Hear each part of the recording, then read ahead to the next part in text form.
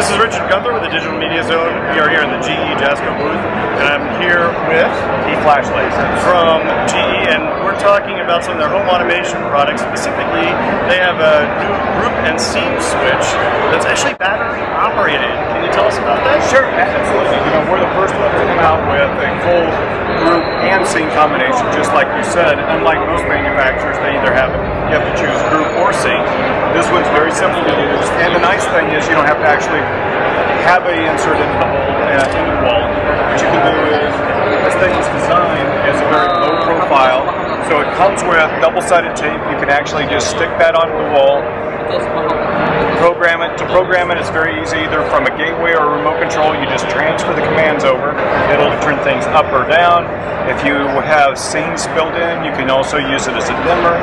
So you could use it for individual lights, groups, scenes, so you can control your whole house actually by this one small device. Now, if you already had a wall box on the wall and you just wanted to replace the switch that was there, and see that there are screws here, can you actually mount this on an existing junction box? Absolutely. And then just you can use the cover plate, or because it's decor style, you can use your already existing decor style plate and put it right on there. And what's your expected pricing on this? I think you're looking around $49.99.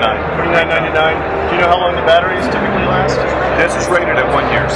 One year. So one year's time without having to replace the battery on a portable switch. Pretty cool thing here. We're here at the GE booth at CES 2013. This is Digital Media Zone. I'm Richard Gunther.